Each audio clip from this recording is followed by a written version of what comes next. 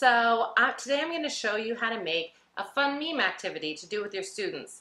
I know that one thing that I always try to convey to my students is that they can be creators of technology and not just consumers. And what do kids consume more than anything? Memes. So this is a fun, engaging activity for kids. You can do it anytime, an end of the year activity, what's your favorite memory from the class in a meme, beginning of the year activity, getting to know you, or any time in between when you just want to add some fun. So let's make some memes. So here's what I send out to my students for the Make a Meme assignment. I've got my instructions on the front page, watch the video on the next slide, check out the meme I made, go to a blank slide, turn it in in classroom. Next, I have a short tutorial that I send out to students on how to make their own memes. And this is the tutorial I send out. I will put the link to this tutorial in the description box right below this video. So if you want to use my tutorial for the kids, you're welcome to it. Then I have my example meme that I make and a blank slide for the students to make their own memes. So let's get started making this presentation. I'm in a new slides presentation. I'm going to clean up my workspace by closing out these themes. Then I want this to be a blank slide. So I'm going to right click on the slide on the left hand side, press apply layout and blank. And now I want to title my presentation. And I'm going to change my page setup. So I'm going to go to File, Page Setup, select Custom, and I'm going to make mine 5 by 5 inches. A nice square size for memes. And now I need to make my first slide, which is my instructions. So I'm going to insert a text box and just click on the slide to make it appear. And now I am going to highlight this text. I just clicked three times. You can also just uh, drag your cursor over it to highlight. And I'm going to select a different font. I like Oswald, and I'm going to make that a lot bigger. So let's try 48. Actually, I think it can go even bigger. Let's try 60. Okay, but we need to resize the text box. Let's drag these sides and drag it down. Oh, maybe 60 is a little too big. Nope, perfect. Okay, there we go. So, and then drag this up to the top of the page. Okay, and I'm just going to make sure that it's centered horizontally by pressing arrange, center on page, horizontally. Looks good. Okay, so I know that I'm going to want some bulleted text, so I'm going to insert another text box. And I'm going to make this bigger. I'm going to drag it down. And I know that I'm going to want the same font that I already had. So I'm going to go ahead and just change that right now. And then I am going to put in my text. Okay, and I want some bullets. I can do the regular bullets that Slides has to offer. I like to make a little more fun. I've got an extension with emojis.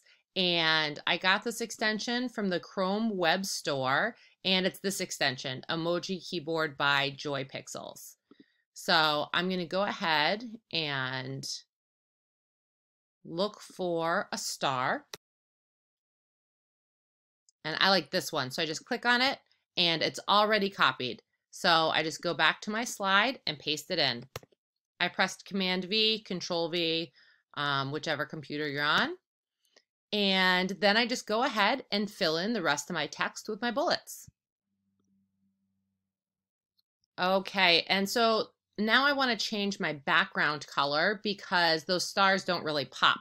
So I'm going to go to, oh, I'm highlighting the, the text box so I don't have background as an, as an option. So I'm just going to click somewhere on the slide to get out of that. So now my background shows up. So I'm going to select background, color, choose whatever color you like.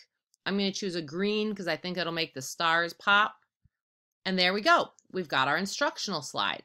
So now we go to another slide. So press the plus sign for a new slide. Again, we need to clean it up. So you can either apply layout or you can just put your cursor down, drag the box down so these are both highlighted. Press delete to get rid of those text boxes. And if you know you're going to use more slides, just like this one, you can just highlight it on the left and press Command D or Control D a couple of times to get some blank duplicated slides so you don't have to go through that again. So now I'm going to insert my video. So I'm going to go to Insert Video, and I'm going to do it by URL because I have the tutorial I want to use. I made it. That's the one I want. I'm going to paste in that URL. And for me, that's an unlisted video on YouTube, and it's set for kids only or appropriate for kids, I should say, not kids only. And select. And then I want to arrange it. And again, you can arrange it here on the formatting options under position, or you can go to arrange up here. Uh, another neat feature is that if you don't want it to start right at the beginning, if you want to just show part of a video, you can um, do the start at, end at feature, which that's a nice feature on uh, slides. So, but I'm going to just do it with the, I'm just going to do my um, formatting with arrange, center on page, horizontally, center on page, vertically.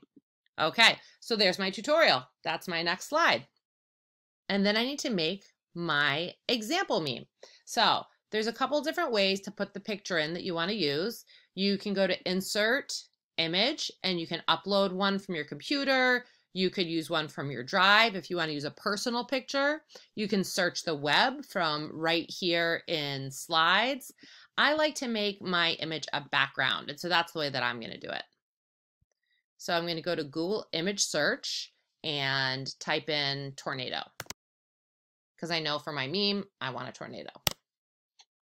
And we get all these images and I'm going to select this one and insert and done. Okay, so now I've got my image. So now I've got a few things I need to do before I'm done with this meme. And I want to first insert a shape. I'm going to insert a rectangle and I'm just going to click on the slide to insert that rectangle and then I can resize it and drag it around. Okay, that looks good, but I just want it to be a little, yeah, see those red lines? I just want to lock it down on that red line so that I know that it's right end to end on my meme. And you can see this has a border color.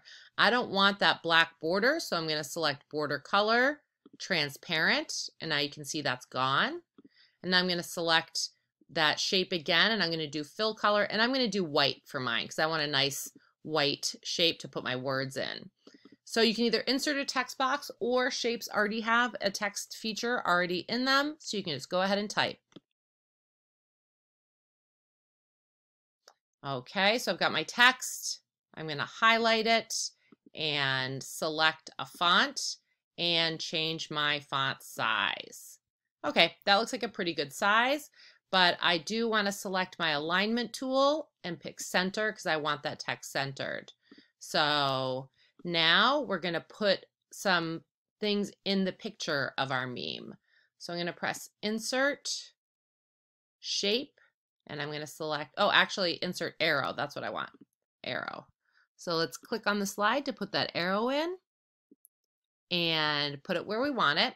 And again, I'm going to get rid of that border and change the color. I want a nice red arrow. And then I'm going to put in a text box. So that's right here, text box, and just click on the slide to put it in. So put in my text. Okay, I'm going to highlight it, change my font, change my font size maybe, and my font color. Let's go with red to match the arrow. And then drag it over. Make sure you get those crosshairs to move it. And then I can size this text box down because it does not need to be that big. Okay, and so it's a little trial and error getting it lined up the way that you want it. You can also, if you want to pop a little more, you can bold it, but then that changes the um, the size of it. So then I would need to make my text box a little bit bigger. There we go. Okay, so I've got that part done.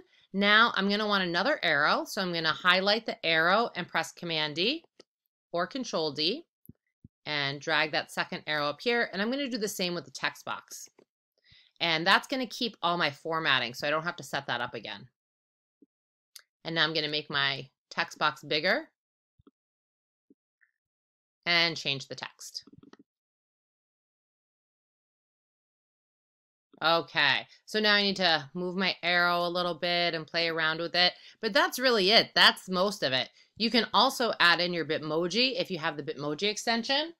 So I'm going to put my Bitmoji in here and type sitting because I want to sit on the horse and just drag and drop her right in. And I'm going to size her down using the corner so that it maintains the width and height ratio. So now I can't really see. I want her on that horse. So I'm going to go to view, zoom, and just zoom right in so that I can see, maybe size her down a little bit. And put her on the back of one of these horses. There we go. That looks pretty good. So go back to view, zoom, and 100%. And that's my meme. And then I have a blank slide for the students. You can include as many blank slides as you want for the students. And then we'll go to Google Classroom to assign this. Okay, so here I am in my Google Classroom. I'm going to go to Classwork on the top and Create. I'm going to create this as an assignment and give it a title.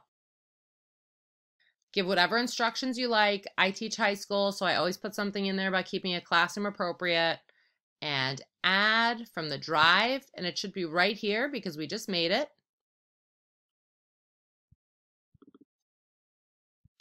And the important thing is I want to make a copy for each student because I want them each to have their own blank template to work from. And then I like to select a topic to keep my classroom organized. And it's already assigned to all my students, so I don't need to change anything there. So I can either just go ahead and click assign, or if I wanted to show up for them at 8 o'clock tomorrow morning, I can schedule that. Um, so however you prefer. So have fun making your memes. If you enjoyed this tutorial, please tell your teacher friends about it. Thanks so much. See you soon.